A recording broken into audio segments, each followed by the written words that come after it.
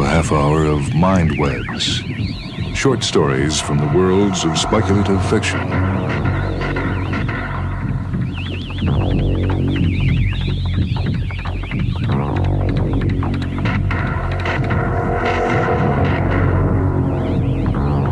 This story comes from the book A Touch of Strange by Theodore Sturgeon.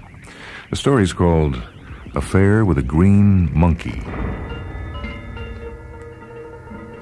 There was this trained nurse who retired at 24 to marry a big guy, six foot seven, top brass in a government agency.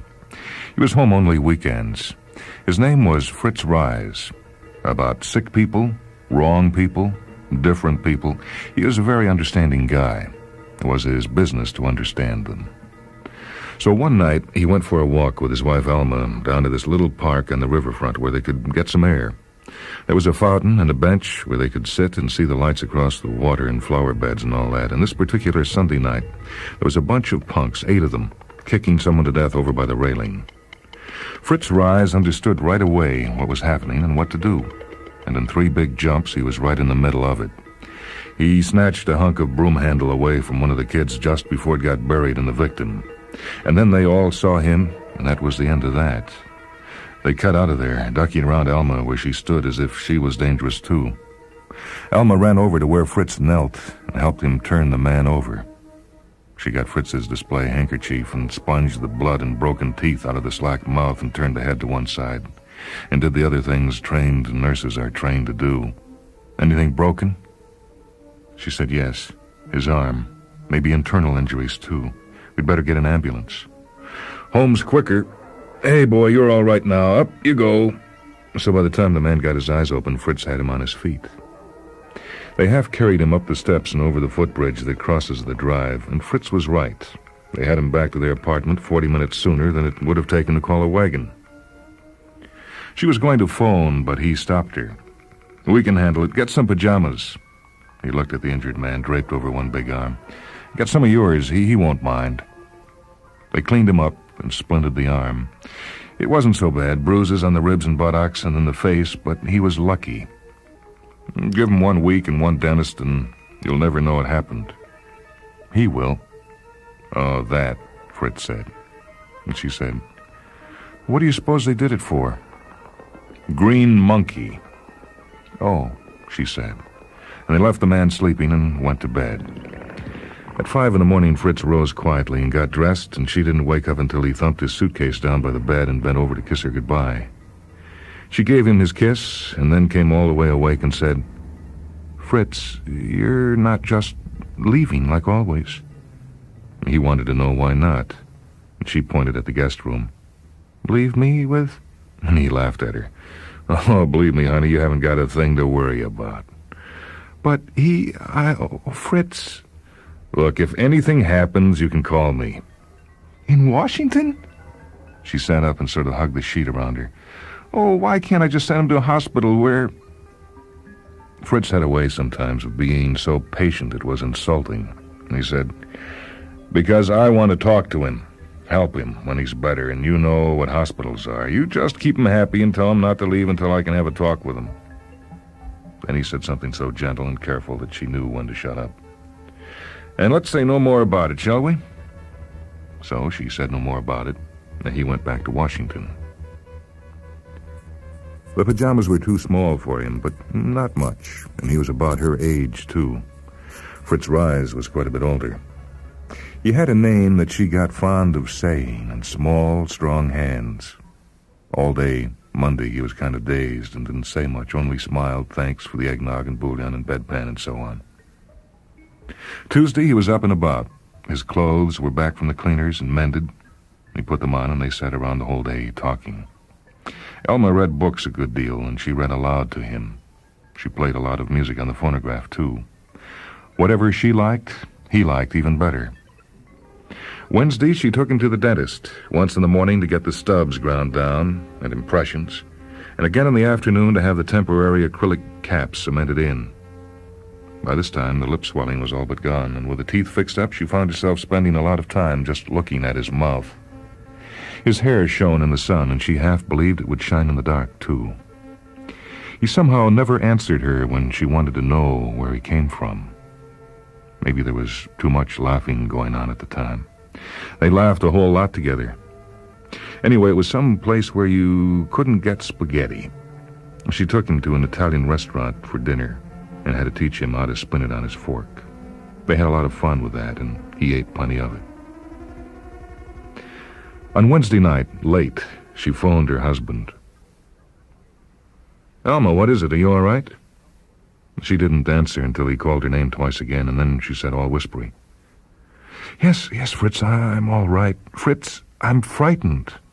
Of what? She didn't say anything, though he could hear her trying. Uh, is it, uh, uh, what's his name anyway? Lulio. Julio? She sang. Lulio. Well, then what's he done? N- nothing. Well, then are you afraid of anything he might do?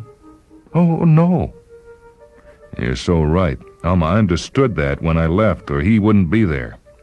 Now then, he hasn't done anything, and you're sure he won't, and I'm sure he won't, so... So why call me up at this time of the night? She didn't say anything. Alma? Fritz? Fritz, come home. Come right home. Uh, act your age. Your three minutes are up. Signal went through, please. Yes, operator. Alma, are you calling from an outside phone? Why aren't you home? I couldn't bear to have him hear me. Goodbye, Fritz. He might have said something more to her, but she hung up and went home. On Thursday, she phoned for the car and packed a picnic, and they went to the beach. It was too cold to swim, but they sat in the sand most of the day and talked and sang some. I'm frightened, she said again, but she said it to herself. Once they talked about Fritz. She asked him why those boys had clobbered him, and he said he didn't know. She said Fritz knew. He says you're a green monkey, and she explained it. Fritz says if you catch a monkey in the jungle and paint it green, all the other monkeys will tear it to pieces because it's different. Not dangerous, just different. Different how? Lulio asked in a quiet voice about himself. She had a lot of answers to that, but they were all things of her own, and she didn't mention them. She just said again that Fritz knew. He's going to help you. He looked at her and said, He must be a good man. She thought that over and said, He's a very understanding man. What does he do in Washington? He's an expert on rehabilitation programs. Rehabilitation of what? People. Oh, I'm looking forward to Saturday. She told him, I love you. He turned to her as she sat round-eyed, all her left knuckles in her mouth so that the ring hurt her. You don't mean that. I didn't mean to say it. After that, and on Friday, they stayed together, but like the wires on your lamp cord, never touching. They went to the zoo, where Lulio looked at the animals excited as a child, except the monkeys, which made them be quiet and go quickly to something else. The longer the day got, the quieter they were together. And at dinner they said almost nothing, and after that they even stopped looking at each other. That night, when it was darkest, she went to his room and opened the door and closed it again behind her. She did not turn on the light, and she said, I don't care. I don't care, and wept in a whisper. Lulio was alone in the apartment when Fritz came home. Shopping, he answered the big man's question. Good afternoon, Mr. Riza. Glad to see you. Fritz, instructed Fritz. You're looking chipper. Alma been good to you? Lulio smiled enough to light up the place. What'd you say your name was? Uh, Julio? Oh, yeah, Lulio. I remember. Well, Lou, my lad, let's have our little talk. Now, sit down over there and let me have a good look at you. He took a good long look and then grunted and nodded, satisfied. You ashamed of yourself, boy? What? Uh, ashamed? Uh, no, I don't think so. Good. That means this doesn't have to be a long talk at all. Just uh, make it even shorter. I want you to know from the start that that I know what you are, and you don't have to hide it. It doesn't matter damn to me, and I'm not going to pry, okay? You know? Fritz boomed a big laugh. don't worry so, Louis. Everybody you meet doesn't see what I see. It's my business to see these things and understand them. Lulio shifted nervously. What things are you talking about? The shape of the hands, the way you walk, the way you sit, the way you show your feelings, sound of your voice, lots more. They're all small things. Any one or two or six might mean nothing. But altogether, I'm on to you. I understand you. I'm not asking, I'm telling. And I don't care. It's just that I can tell you how to behave so you don't get mobbed again. You want to hear it or don't you? Lulio didn't look a thing in the world but puzzled.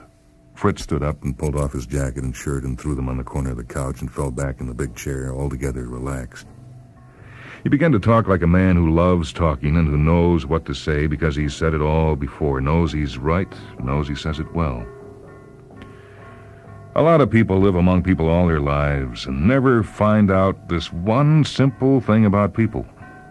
Human beings cease to be human when they congregate, and a mob's a monster now, you, if you think of a mob as a living thing and you want to get its IQ, take the average intelligence of the people there and divide it by the number of people there, which means that a mob of 50 has somewhat less intelligence than an earthworm.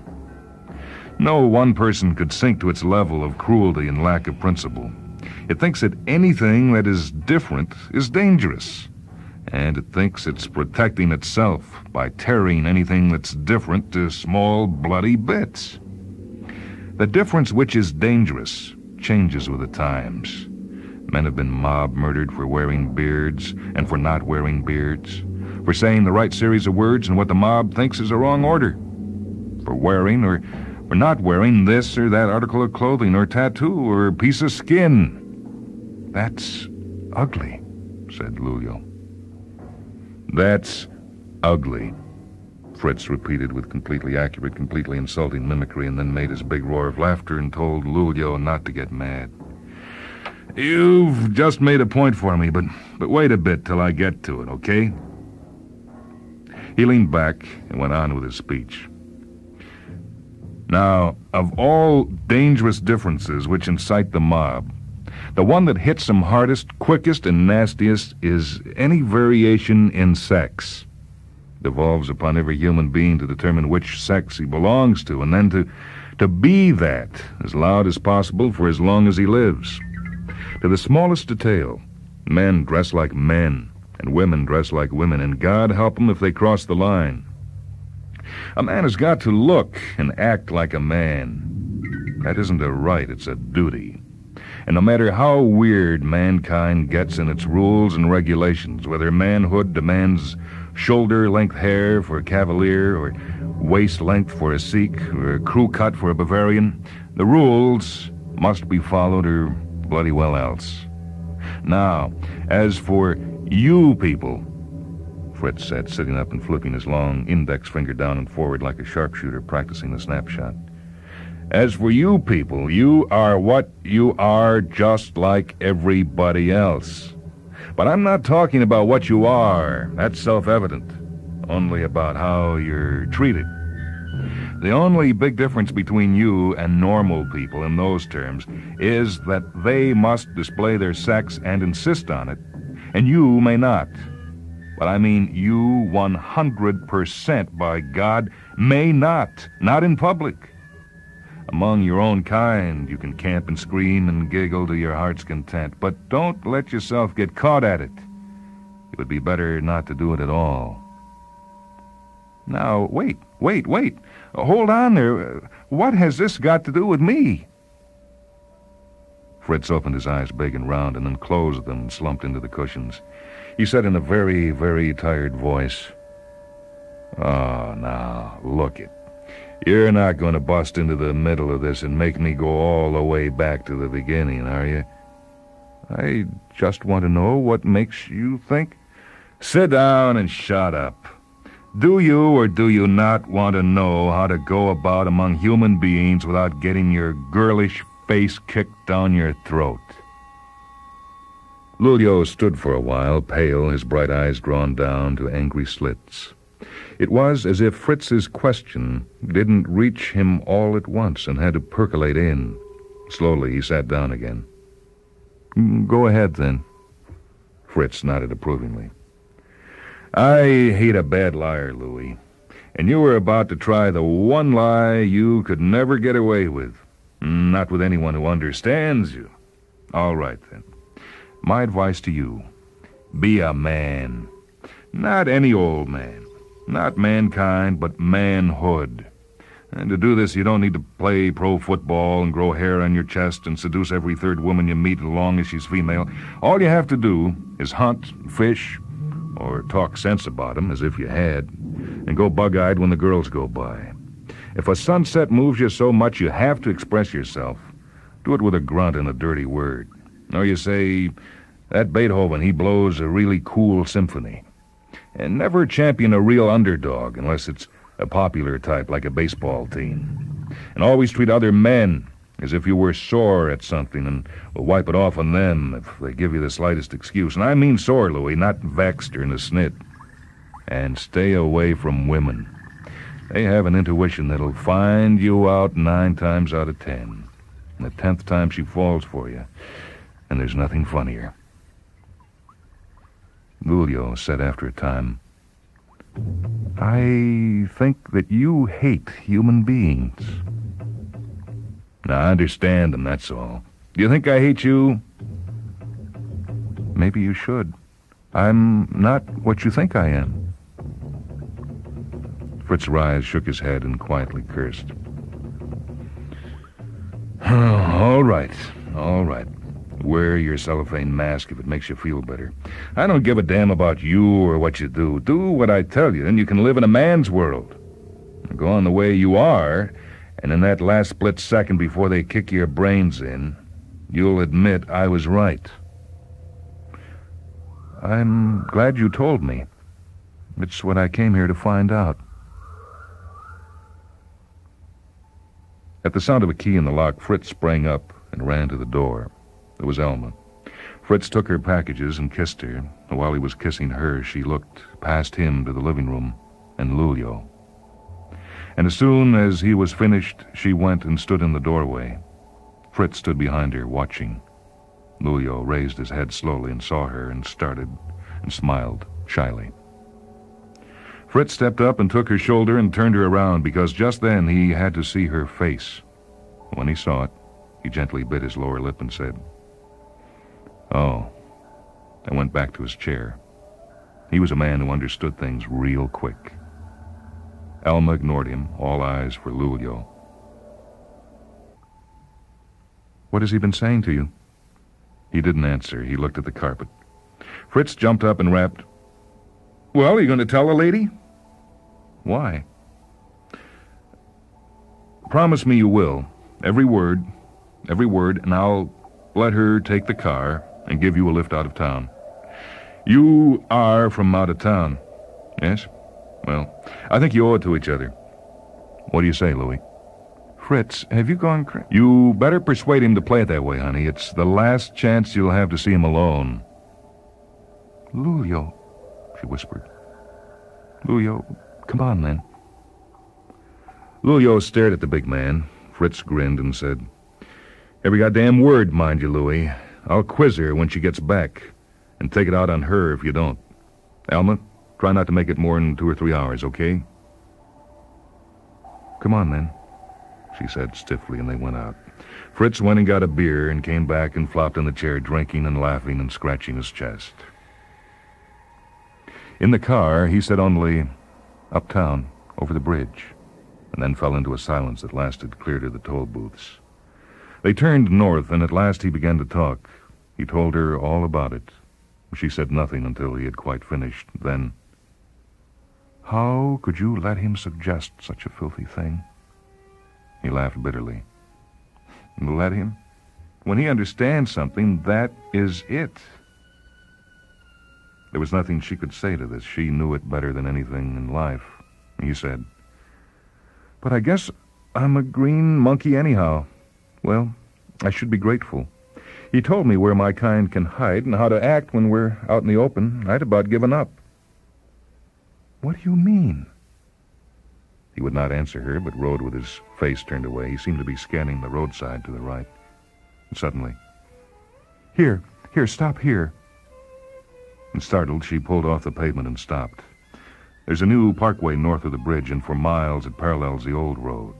Between them is a useless strip of land, mauled by construction machines, weedy and deserted. She looked at it and at him, and if she was going to speak again, the expression on his face stopped her. It was filled with sadness and longing and something else, a sort of blue mood laughter. He said, I'm going home now.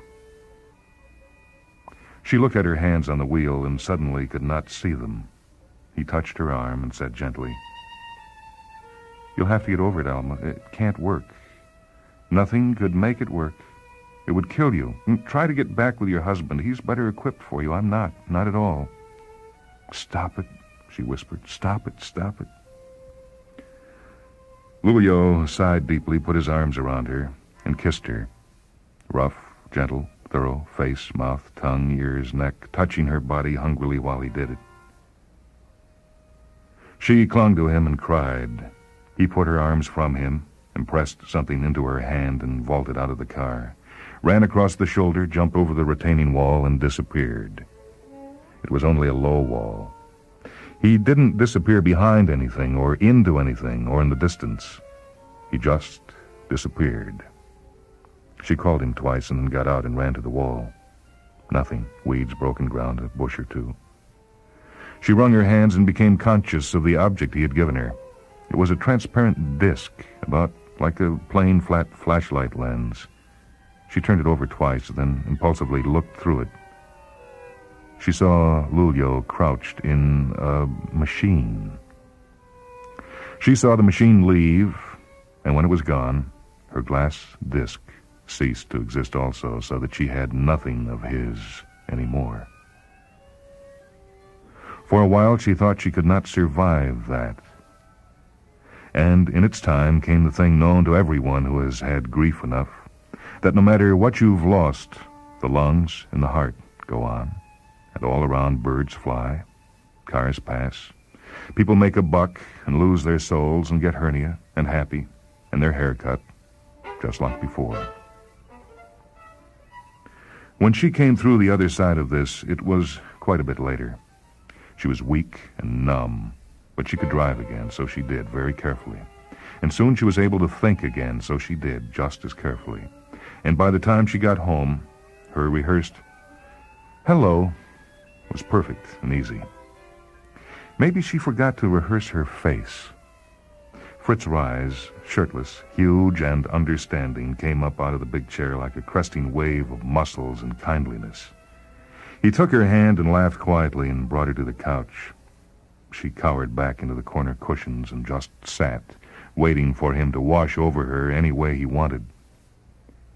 He sat on the edge of the couch close to her, leaning forward to wall her away from the world, his heavy forearm and fist on the end table next to the couch. Single-handedly he surrounded her. Alma, he whispered, and waited, waited, until at last she met his eyes. Alma, I'm not angry. Believe me, honey, I'm glad you can love someone that much.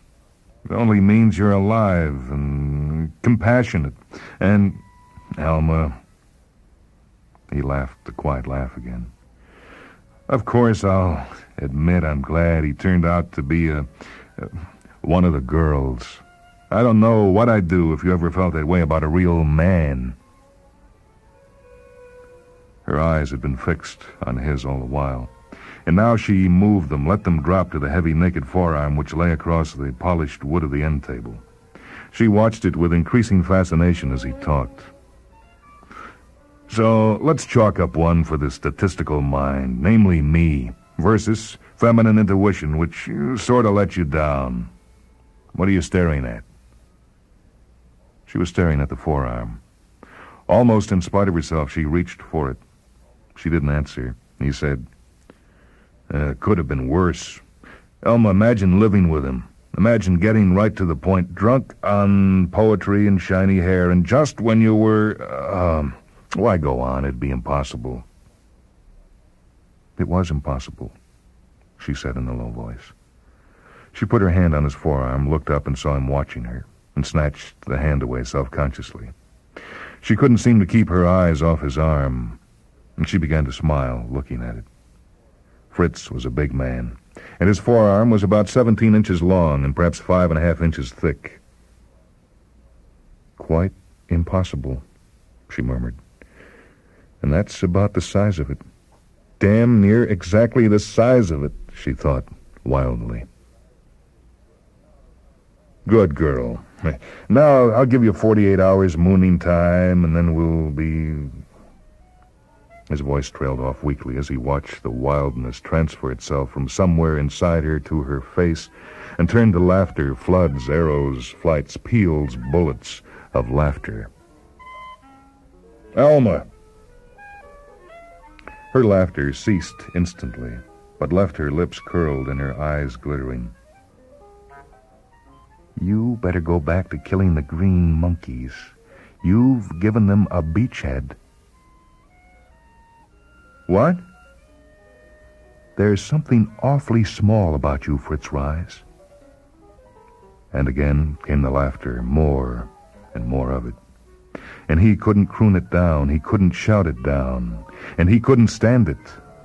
He got dressed and packed his bag and said from the door into the blare and blaze of her laughter, I I don't understand you. I don't understand you at all.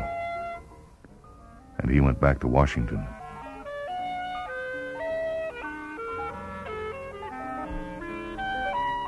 That story was Affair with a Green Monkey by Theodore Sturgeon. It appears in his book, A Touch of Strange. This is Michael Hanson speaking. Technical production on this program by Leslie Hilsenhoff and Steve Gordon. MindWebs is a production of WHA Radio in Madison, a service of University of Wisconsin Extension.